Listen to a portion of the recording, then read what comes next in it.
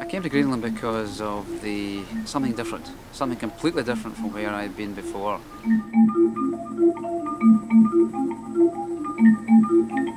This is my uh, third time at the Better Moments. Uh, first trip I went on was in 2011 to, to Iceland and the, the second one was last year, again to Iceland, although a different part of Iceland than previously. Uh, both trips were great, um, real adventures, real good company, uh, very well organised, very well run, and that, that's one of the main reasons as well why I chose to come to Greenland with, with Better Moments this time. We're spending days in Greenland. We have been out with our boat, went into the ice, into the heart of Ilulissat, where we are. Actually, the name Ilulissat means iceberg, and this is what it's all about.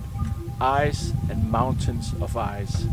Icebergs who comes from the ice cap and is floating out to the ocean.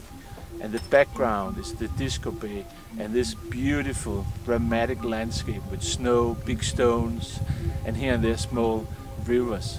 This is really an amazing place to go.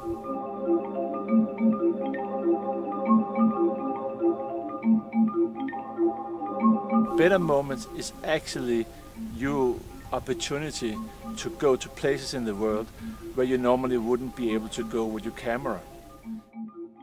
Go with, with friends who have passion for photography, who doesn't mind to wait for the right moment, who doesn't mind to sit for a whole night, maybe two days, maybe three days, maybe for a week, just to catch this very moment where you have the right light, you have the right situation, you have the right landscape.